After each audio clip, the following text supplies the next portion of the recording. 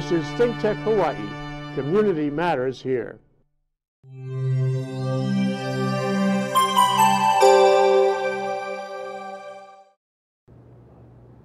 Happy Aloha Friday and welcome to Perspectives on Global Justice ThinkTech Hawaii program.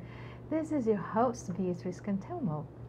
Today's show was conceived with people's hearts in mind. So much is going on in our political arena in the US and across the globe, and many people feel trapped in a personal and collective emotional roller coaster. We're living under real threat of a nuclear attack from North Korea, and many of us have watched in awe and prayed for the lives of thousands of individuals who were impacted by the end of DACA this week, as well as Hurricane Irma and the powerful earthquake that hit Mexico yesterday that caused the tsunami threats uh, in many countries. In the United States, we live under a very unstable political climate, and we see on a weekly basis new policies that violate many people's most basic human rights. It's difficult not to feel our balance, upset, or concerned, or vulnerable.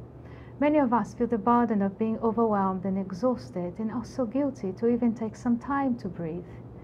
Those who feel victimized by unjust politics and new laws are hurting very bad. Their wounds reopen deep old wounds of the world, namely fascism, racism, inquisition, oppression, insane dictators, holocaust, and senseless wars. Is it possible to find inner peace and to promote peace during times of turmoil? It depends on whom you ask.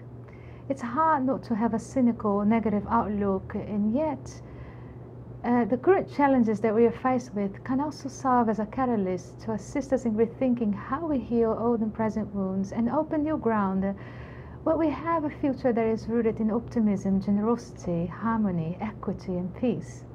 The escalation of violence starts within, and it takes courage to take a clear path where intentions and actions come hand in hand and it's reflected in our personal and public lives. Today, we are gifted with the presence of uh, Suzette Floriani. And she's an astrologer and a holistic medicine and Reiki practitioner. She has great insights on how we could use every opportunity as an invitation to learn, to grow, and to enrich our personal and collective living experiences. On that note, welcome to our program, my dear. Bem-vinda outra vez, Suzette, ao nosso programa. Obrigada, Bia. oh. So, uh, to our viewers, I'll just remind them uh, that we will be doing this program uh, with um, simultaneous interpreting in Portuguese and the English languages. Então, para os nossos telespectadores de hoje, vale relembrar que eu vou fazer o programa com a interpretação simultânea entre o português e o inglês. Uhum. E, então, vamos lá. Obrigada, Bia. Oh, you're welcome. You're welcome. Uhum. And so, Suzette, Puxa, setembro, mês da paz e muita coisa acontecendo. Você podia elaborar um pouquinho é, na sua perspectiva como uma pessoa que trabalha com é, energia, com astrologia? So, Suzette, uh, this is um, September. Uh, worldwide, this is where Peace Month is celebrated, and uh, there's a lot going on. And so, uh, from an astrologer and from a healer's perspective, I think you may have a lot to share. So we're eager to hear, you know, what could you, you know, tell us? Eu acredito que o mês de setembro é um mês muito propício para as purificações. So she believes that uh, September is the peace month and also a very proper uh, month to work with purification. Acho bastante sincrônico esse símbolo da paz estar relacionado ao mês de setembro no mundo. So uh, there's a lot of synchronicity from an astrological standpoint on how uh, Peace Month is also linked with September. E por que isso? And why is that? Porque nesse mês uh, a energia solar está na constelação de Virgem. So because this month uh, the uh, energy that flows in the astrological sign is in the house of Virgo. Okay? Sim, e, e essa energia está muito ligada às purificações, às organizações, aquilo que nós precisamos colocar no lugar para que a vida flua melhor. And the Virgo energy is uh, uh, linked with uh, the need that one have uh, not only personally but worldwide to reorganize, uh, to clear, you know, uh, all the issues, uh, and uh, to be in a different state. Encontrar uma maneira mais simples e adequada de participar, de trabalhar, de conectar com as pessoas sem julgamentos e críticas. So this is a good month and a good reminder, and also in terms of uh, energy uh, from an astrological standpoint, to work collectively uh, in a more simpler manner and without much judgment, but to find ways in which we can contribute to collective uh, consciousness and, and, and harmony. Yeah. Esse, esse é um caminho muito necessário para que a harmonia e a paz se estabeleçam em pequenos níveis, né, ou nos níveis mais pessoais, para que a gente possa alcançar os níveis sociais e coletivos. So, uh, you know, that is a very important uh, work to be done uh, individually and collectively so that um, we can really reach uh, the goal of harmony and peace, uh, not only within ourselves, but also uh, collectively that's reflected in our politics and around the globe also. Então, Suzette, é um momento de transição, um momento que as pessoas podem se reorganizar é, e colocar suas intenções de uma forma mais intencional. É, como que você lida com isso, levando em contexto é, todo, toda, todos os problemas que nós temos agora, não só nos Estados Unidos, mas mundo, né? São tantos desastres, são tantas decisões radicais. É, como que nós individualmente poderemos trabalhar com isso, mas também é, influenciar essas energias para um canal melhor? So, Suzette, I, I was asking Suzette in, in the context of where the world affairs, you know, is at now. We have so many natural disasters. We have so many radical political uh, leaders, you know, in power and uh, havoc really in the lives uh, of so many people and so much uncertainty. Uh, how do we use this opportunity uh, right now to regroup and to reorganize, uh, not only within ourselves, but how can we also use this opportunity to influence and cause collective impact, not only in our government but globally? é esse trabalho consciente que cada pessoa necessita fazer para criar um, um mundo melhor para si contribui muito para esses ajustes nos, nos processos sociais, no primeiro nível, que depois terão uma extensão e alcançarão a coletividade. So, in uh, uh, Suzette's perspective, uh, in order to really work with collective uh, impact, we must work faster, you know, with individual uh, uh, process that you know that is really interconnected with our ability to really bring balance and to bring wisdom uh, to uh, to impact things in a positive manner. Um, Eu acredito que é um chamado, sabe, Bia, ao aperfeiçoamento. É, todos nós precisamos nos aperfeiçoar por meio do trabalho e essa consciência produtiva de uma forma humilde, é, compreendendo que há um valor em nós, mas que esse valor ele precisa ser colocado da maneira correta no mundo. So um, she says that uh, um, it's important uh, to really be intentional that we have a calling. and uh, that we need a lot of humility and patience uh, uh, to perfect, you know, our ability to uh, relate to ourselves and to one another and to the problems that are at stake so that we can find a, a new uh, ground for balance. Então, Suzette, é, nesse caminho, nessa jornada, onde é tão fácil a gente reagir, Uhum. ao invés de refletir. Qual o conselho que você poderia dar, por exemplo, a um espectador que está injuriado porque alguma lei nova está realmente né, impactando a vida dessa pessoa ou, ou, ou a comunidade? É, ou a pessoa realmente está se sentindo muito ah, chateada porque é, não tem aquela paz, né? né, aquela perspectiva assim de calma, porque é, um, é uma onda atrás da outra na cabeça dela. Como é que uma pessoa não reage uma situação dessa, né? So my question to Suzette was, so uh, for a viewer who may be watching this program and it's feeling really triggered and very upset about whatever it is, whether it's a current political event uh, or you know a law or something that may personally impact them, but also may uh, impact you know the society where they live in. How does that person work to not latch out and uh, uh, let the anger or the reactions you know that's so normal you know come through? instead of uh, perhaps taking that deep breath, you know, to reflect and then react.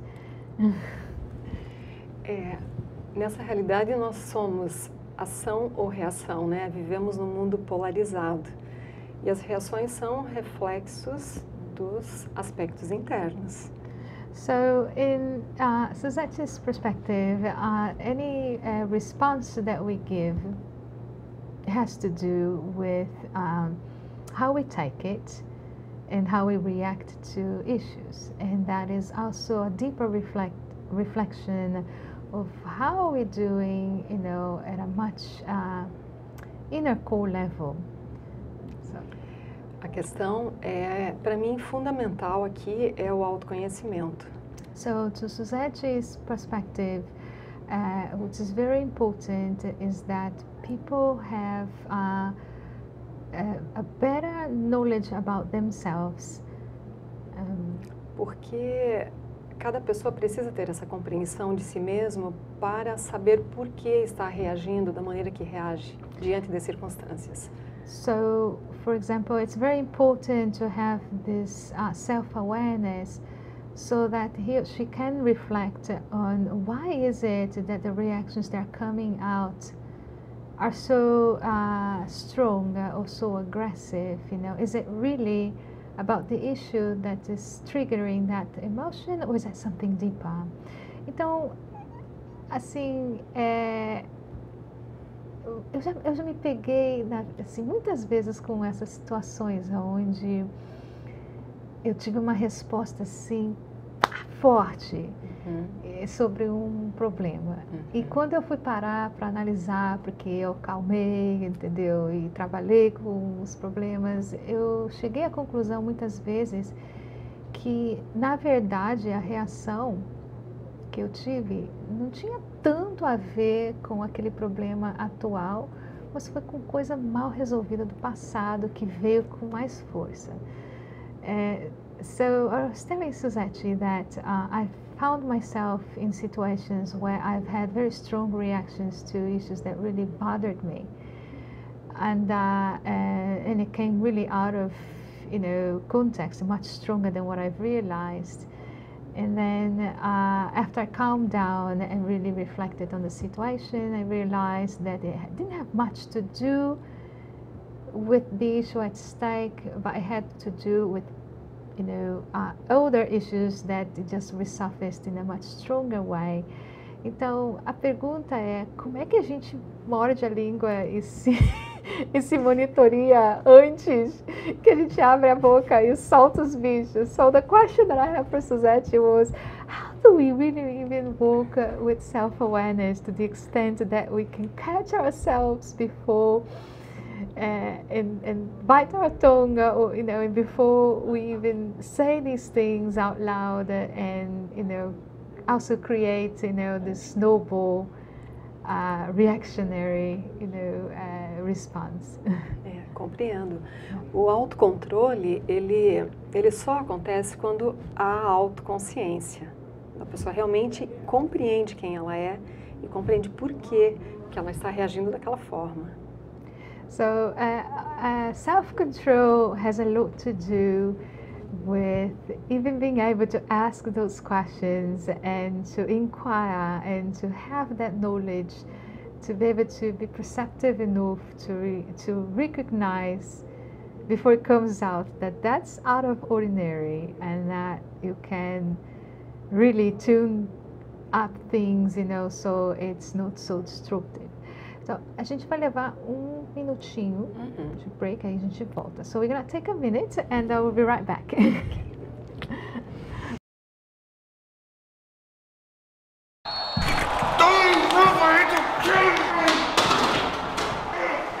This guy look familiar?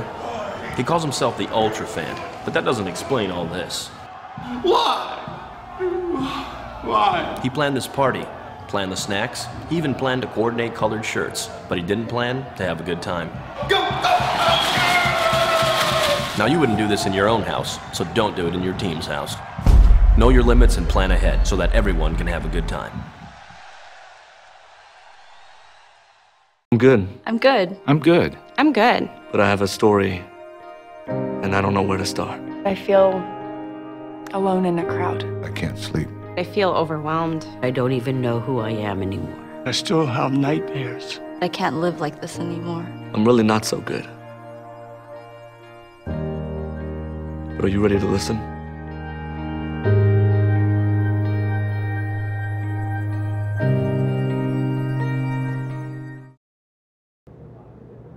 Welcome back to Perspectives on Global Justice Think Tech Hawaii program. This is your host Beatrice Cantelmo, and uh, we are here with astrologer and Reiki practitioner Suzette Floriani.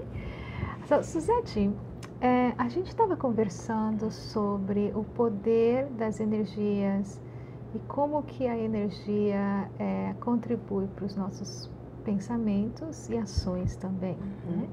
Então, é, como é que a gente meio que filtra um pouco de toda essa carga negativa que a gente recebe diariamente ou tem acesso diariamente, né? Porque hoje em dia a gente vive no mundo da tecnologia, a informação ela chega assim, é muito rápida, né? So the question that I uh, asked Suzette uh, came in the context of um, the the knowledge that uh, our thoughts uh, control in many ways uh, the energy field and the, actions that we may take about a certain situation, be it uh, for good or bad. So my question to Suzette was, you know, in today's world where technology, we live in information society where you know information is available at the click of a you know mouse how do we filter uh, the information that we get? How do we negotiate um, the information and the energy that we're receiving and internalizing? A informação conecta tudo e todos muito rapidamente atualmente. So, uh, you know, information society connects everything and everyone really uh, quickly nowadays. E a informação é essa malha elétrica rápida que influencia muito a estrutura mental das pessoas. So uh, the type of information that we receive uh, it works really quickly, you know, via social media, and that really helps influence people's uh, state of mind uh, and opinions. A questão é como nos identificamos com essas informações, que muitas vezes são positivas, mas muitas vezes também são negativas. So uh, the question is, how do we relate to this kind of information? You know, some of them can be very positive, and others can be very negative. Um, E a questão é como vibramos, o que, que realmente queremos. Se queremos a paz, se queremos a guerra, como está a nossa identificação com esses acontecimentos polarizados, positivos e negativos no mundo. So another question that someone could ask uh, when they read news, uh, you know, so we live in a polarized world. You know, you have positive and negative uh, aspects. You know, almost everything that we receive is. what internal choices are we going to make as we start digesting and processing information?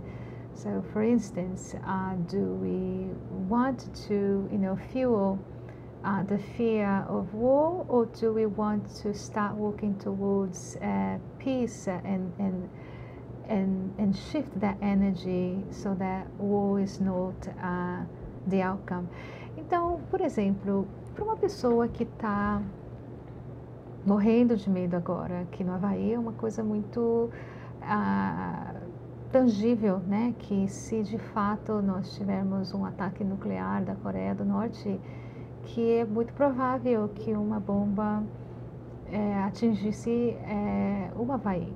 Né? Então, como que uma pessoa que dê uma notícia dessa é, faz as opções de filtrar né, é, isso e, e, não trabalhar é, pelo lado do medo e pelo medo da reação desse medo. So, uh, the question that I asked Suzette is a, a very tangible one because uh, uh, with the threat of nuclear uh, bomb attack from North Korea, it's possible uh, it's a slight possibility that the state of Hawaii would be impacted, it would be a target. So, like for somebody who is reading uh, the news, you know, and, and, and have to come to terms with that possibility, what can he or she do to filter this information uh, from a place of um, no panic and not fear?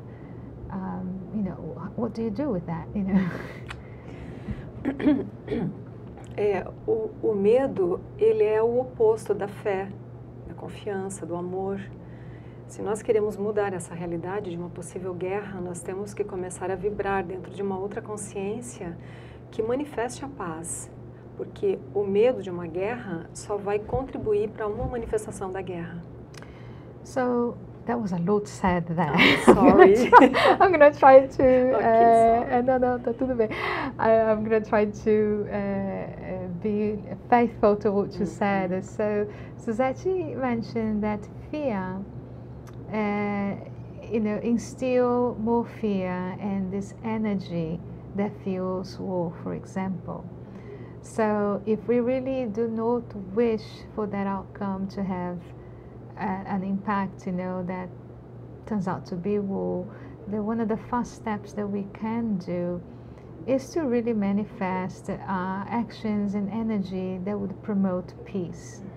So, como que uma pessoa poderia projetar é, energias que promovam a paz nesse contexto e, e também ações que talvez poderiam gerar uma energia que pudesse modificar essa essa essa dura realidade essa dura que pode realidade. acontecer, né, também. Yeah.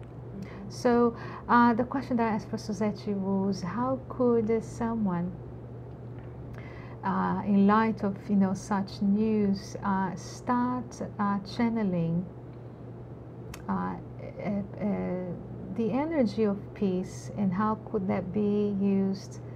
As the inner strength uh, in their own outlook about the situation, but also through actions that could contribute to the interruption or the change of this, you know, outcome. É, precisamos trabalhar mentalmente com o propósito da paz. É, criar um, um processo mental de confiança, de oração, de vibração que manifeste a paz no nosso ambiente doméstico, em primeiro lugar. So, from a, a personal uh, inner relation uh, type of uh, connection, uh, Suzette said it's very important that we start working within ourselves and those that are close to us uh, with the intention and the energy of peace in mind. That it's uh, very important that the the prayers, the the actions, the intentions that it's put there day by day yeah. uh, promote and and focuses on you know more of the peace side as opposed to the panic and the outrage. Essa é uma atitude que pode mudar a nossa realidade, onde cada pessoa realmente pode participar de um processo de paz. So that can be an added uh, can be an attitude that individually, if combined, uh, you know, with other people, uh, could really have a, a, tremendous impact collectively with our ability to find the strength to, uh, you know, walk towards peace. É, é muito interessante isso porque é, é muito difícil de encontrar soluções novas ou possibilidades novas quando o coração está fechado.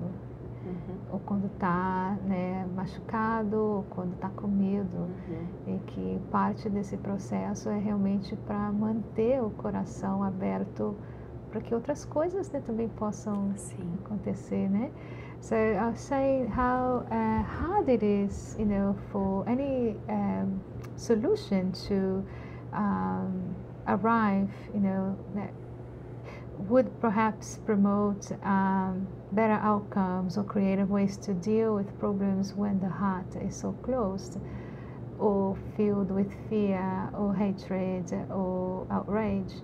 So, you know, it's important to keep the clay of the heart soft uh, even in, in times of fear.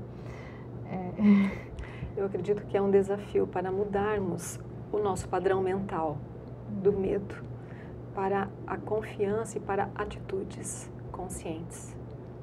Yeah, and so to Suzette, this is the um, challenge, uh, the personal and the collective challenge that we all have on how do we overcome fear, how do we see fear, and how do we change this, you know, uh, so that we can really live from a place of light and peace. Suzette, eu não acredito que o show acabou, a gente voou, né? foi tão rápido. É... Eu só queria falar uma coisinha para finalizar, Bia, que é um grande pacificador, né, que foi o Gandhi. E foi que ele disse, né, tipo, seja a mudança que você quer ver no mundo. Então, são mudanças individuais que realmente vão contribuir para uma mudança coletiva, cada um fazendo sua parte. So told Suzette, you know, how close to an end our program came, and uh, um, she wanted to leave us all with a uh, wonderful uh, gift from Gandhi uh, that in order to, you know, see the changes that we seek, we must be the change. So be the change we want to see in the world, and that change starts within us. So, on that note, uh, that concludes uh, today's episode of Perspectives on Global Justice. Uh, I Think Tech Hawaii program. Thank you so much for watching us, and uh, I hope to see you again next Friday. And uh, we hope